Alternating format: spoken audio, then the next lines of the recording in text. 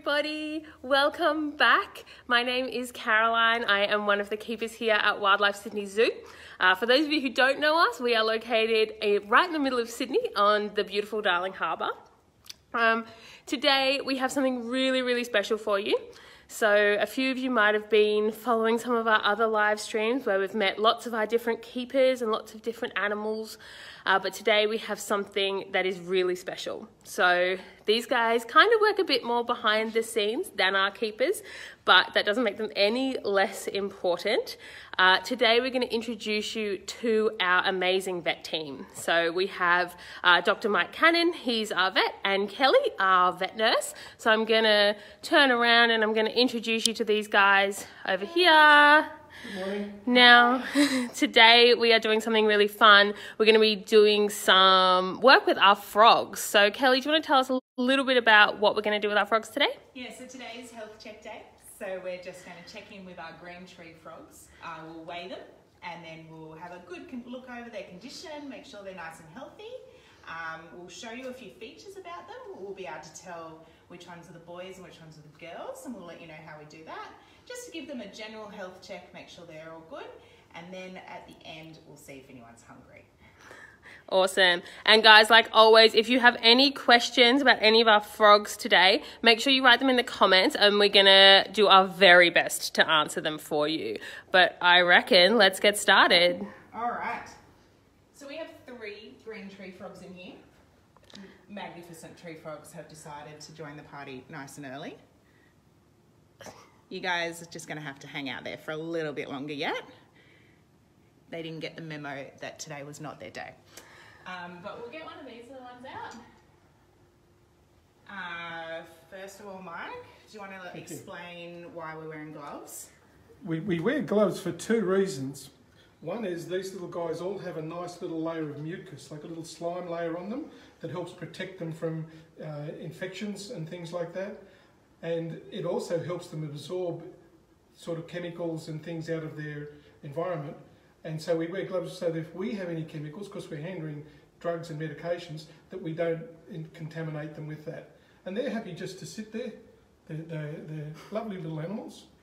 So um, while he's sitting so beautifully like that, get our little microchip number. So this is how we tell the three of them apart. All of our frogs are microchipped. Makes it nice and easy when we're recording uh, weights and different features about them. While Kelly's writing that down, we just have a look at the animal. We look at eyes, and they're lovely and clean. We look at the nostrils, they're tiny little nostrils, but they're nice and open. And you can see their ears just here, that they don't have a cartilage around their ear like we do, they just have a little disc there. And then we, we look at their general condition. They should be nice and rounded. None of the bones should be standing out. They're nice and clean. We can have a look at their tummy. They don't like rolling over much, but there we go. And they've got these really strong little pads on their feet that helps them. They can walk up glass. You and I can't do that. But uh, this is a nice little animal. It's, it's, it's in really good body condition. It's quite normal and it's, it's doing very nicely. Now, little girl. This is a girl. So, do you want to tell us what we're looking for, Mike? Okay. On, on this, like the equivalent of their thumb, the, the, the, the males have a little pad there, a little dark pad they use for hanging onto the females when they're mating, and that's called a nuptial pad, so a marriage pad that they have there. And this one is a little female. We'll see if we can find one in, in one of the other ones. There we go, Kelly. All right, so before our little girl goes back, we're going to wait. Any guesses, everyone, while it's stabilizing? 44 grams. Awesome. There we go, so write that down.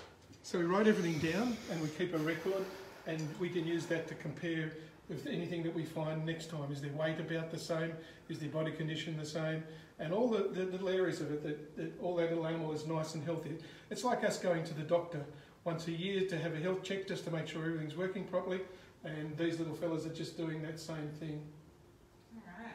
Here comes our next customer. Bags are just sitting there beautiful. There we go. Slightly bigger animal. Yeah, so most likely this one will be another girl, just due Yes. to size. The girls are always bigger than the boys.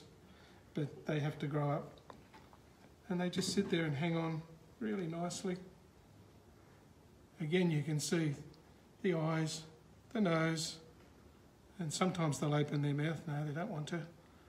And their ears are nice and clean, and their little pads. Oops. They're hard to pull off because they hang on to everything. And you've got these little pads just sitting there. There they are.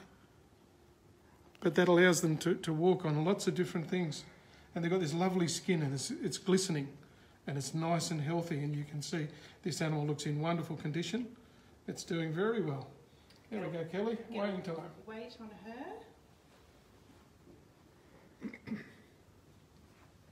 Yeah, so she is a bit bigger. A nice healthy weight for a girl. So she's sitting at 63 grams. All right, lucky last. One more green tree to go. So we've been asked a question from Jamie. She asked us how often do we check on them and how often do we weigh them?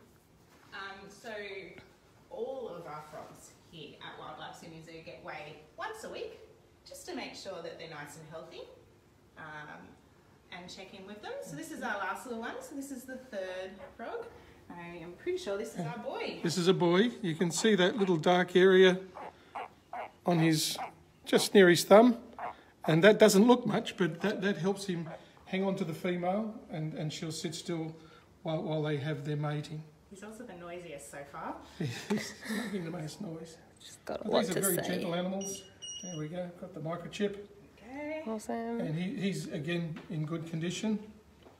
Eyes, ears, nose. And we can see back here, got a nice rounded little tummy. And he's a happy, happy camper. There we go. They've all got good body conditions. Alright, so Samuel um, asked us um, a little bit of a harder question. Um, do we know how long frogs live to? Um, these guys are pretty common as pets. Um, they live a decent amount of time 10, 15 years, even a little bit more. Um, so a lot of people will have them as pets for that reason. Yeah, cool. These are the common frogs that you'll see in your backyard around Sydney and Newcastle and Wollongong and areas like that. They're, they're, I used to have them in my backyard when I was a ch- child living in Chester Hill in Sydney. Uh, they get in, in the different plants and make a lot of noise at night. But they're great animals to have around. They, they tell you when it's ready to rain because they start croaking and carrying on because they're going to lay some eggs. And these, these females will lay anything up to 2,000 eggs. Wow. So when you consider humans normally have one and these guys have 2,000, um, it takes a lot out of them. It's a big drain on, on their capacity. And, but they handle it well and they're breeding very well. Awesome. That's so exciting. And where whereabouts are these guys from? Like where would they be breeding? Um, Anywhere coastal, you find them all up and down the east coast um, and even crossing to Northern Territory as well. Um, so anywhere that there's a body of water nearby, um, or you'll often hear them in your drain pipe as well. Uh, they're not fussy.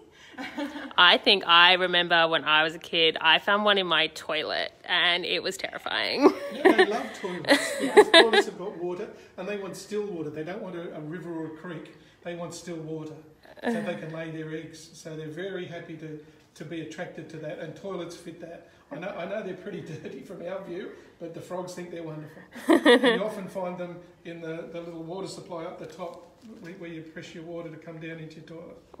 Anyone that has a grandparent that may have had a toilet outside or maybe in camp toilets or things like that when you've been camping on holidays in coastal areas, these are the ones that you'll probably find. Crikey, that's a lot. Um, and just one more question while we're talking about the green tree frogs, which I think would be really important. Can you tell us what we should do if we should do anything if we see any frogs in our backyards?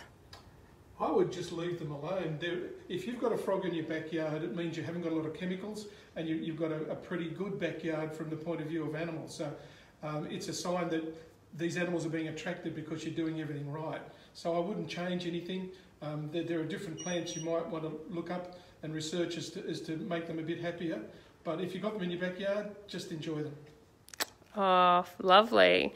All right. Well, now our health check's over. Um, we're going to pass on the cameraman work to our vet nurse, Kelly, and she is going to feed some of our beautiful, magnificent tree frogs. All right, guys. So let's see who is ready for a feed.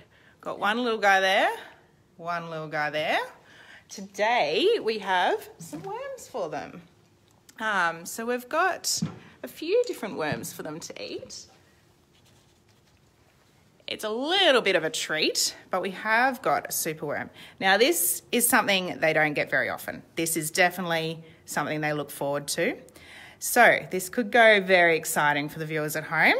Uh, frogs can often stick their tongue out and catch their food, or they can pounce completely on it with enthusiasm.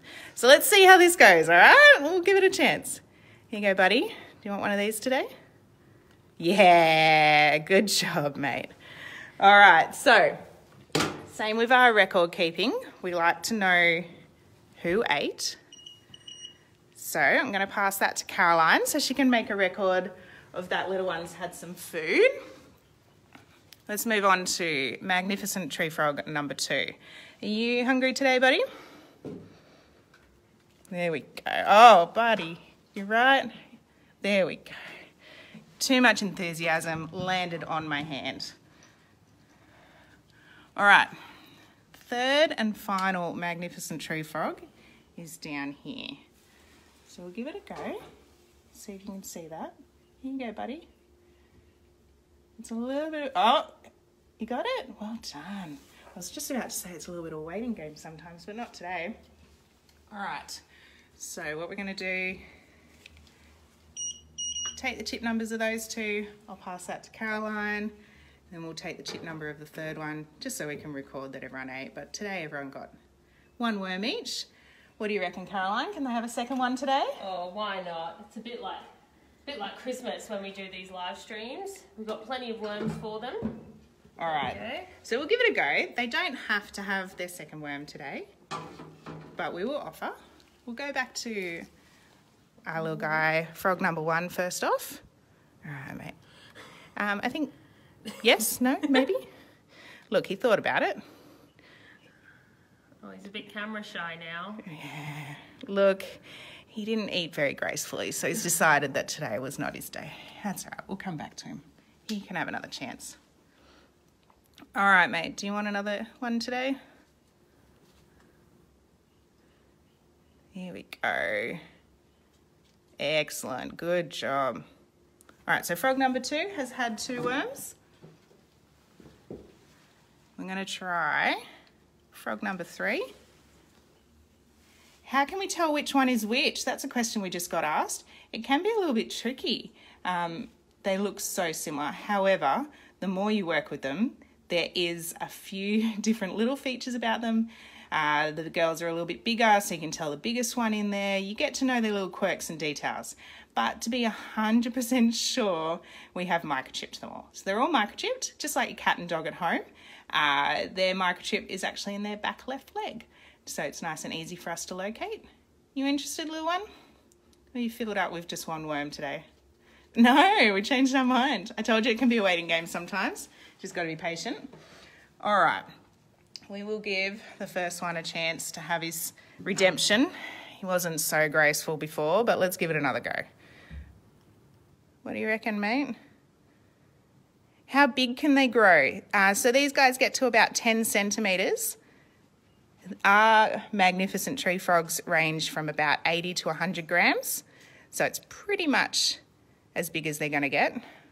Look, I think he's just decided that he's doesn't want to shame himself in front of the camera anymore today. We'll give him a chance. How can I get frogs to come into my yard? That's a really good question. Um, so, what we encourage is if you set up a water feature, just like a pond or something with a few rocks and different things in it, areas that they can perch on, um, if you provide the areas, it gives them the opportunity to come in. No, I don't think we're going to do it today. Oh well, that's okay. We'll give we'll give him a little chance. That's all right. What we might do, guys. Oh, hang on. No, I didn't give him enough of a chance. Here you go, buddy. Sorry. Do you want an opportunity? What we might do instead is I want to introduce you to uh, green and golden bell frogs, which is in the exhibit next door. So if these guys are done, which I think they might be for today, and that's fine, we can come back later and offer them a few more.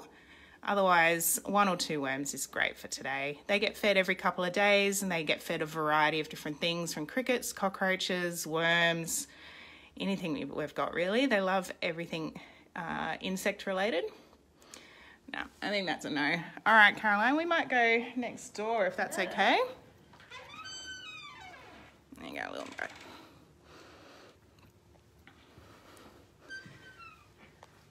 These are our green and golden bell frogs. So I'll see if I can find a few different ones for you.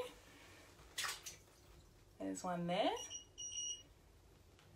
There's one down there. We have 12 in here. And this is definitely an effort to feed them, work out who's who, keep track of the microchip numbers. So this could be fun and games, but we'll, we'll see if Caroline can help out with that as well. There we go. All right, so what have we got for these guys today? Uh, we have a couple of little worms for a few of them. There we go. So these ones are a little bit smaller. So these are frogs that you would find in the Sydney area. All right, here we go. What do you reckon, little one? There we go. Good job, buddy. We have any more? All right, we might only feed one or two more for now, guys, and we'll leave it there for today. And otherwise, we'll be here all day with 12 frogs, but that's okay.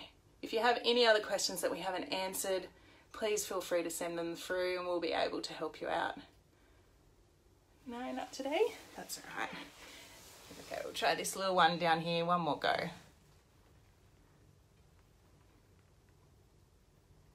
All right, guys, we might leave it there for today. We'll come back and keep offering them a few more foods later.